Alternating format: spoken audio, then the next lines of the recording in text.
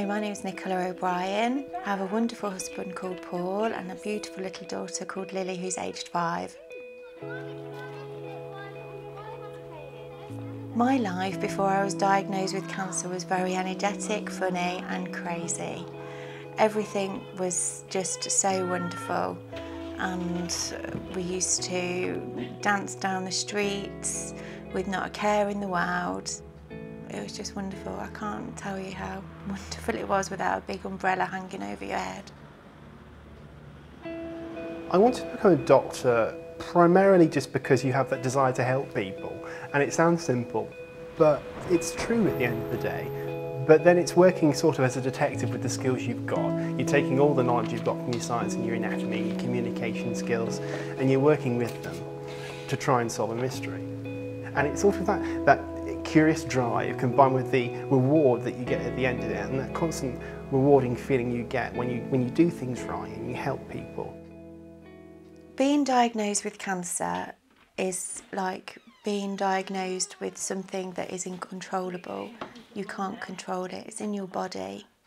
Cancer's been in our family on my mum's side and you kind of grow up with it, knowing about it but never thinking it will affect you in your own life. Thinking it will never hit you and you will never be that that one in three that people often say.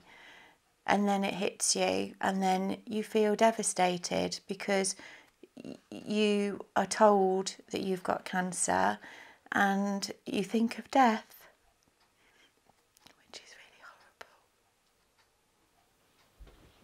My treatment plan was basically seeing the consultant and him advising me that I had to have a complete mastectomy in order to carry on living my life and to take the cancer away from me.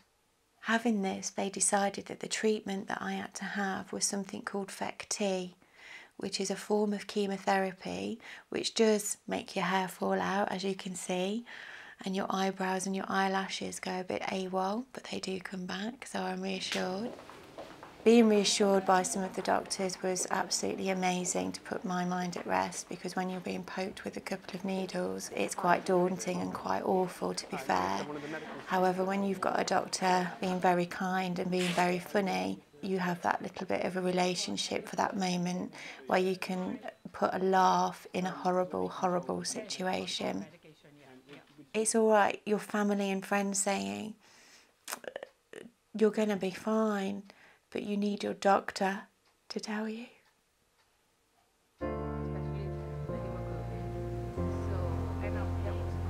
Having a good bedside manner is an absolutely crucial skill in caring for patients effectively because ultimately patients are people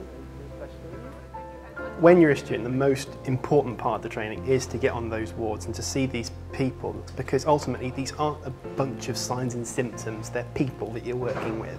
And you have to be working with them as one person talking to another. And you can only get that if you go in day in, day out, see people, talk to people, examine people when appropriate, but ultimately you have to see them.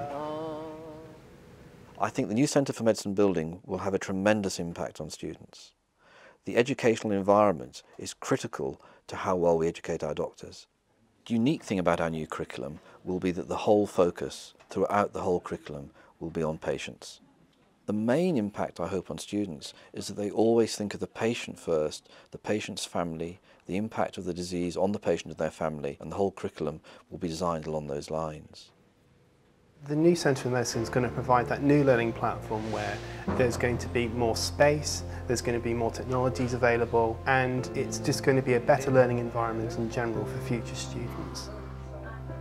So when we're teaching currently about a disease such as gastric cancer, we begin our teaching with the pathology, which means how it looks under a microscope slide, how it spreads around the body, and its treatment, which may be surgery or chemotherapy, and I'm sorry to say that only at the very end we actually talk about the impact on a patient and his or her family. In the new curriculum, we're going to completely flip this around. The start of the teaching in any disease will be about the impact on a patient and his or her family. And therefore the curriculum will be much more patient focused rather than disease focused. What inspires me? Living inspires me.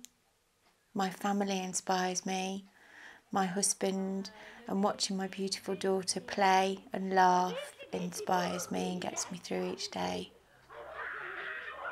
The fact that I have a great family, I have a fabulous family to support me, I have a fantastic mother and father, a fantastic mother in law that's just been lovely, it's been like a rock. They just inspire me so much to get through this dreadful time.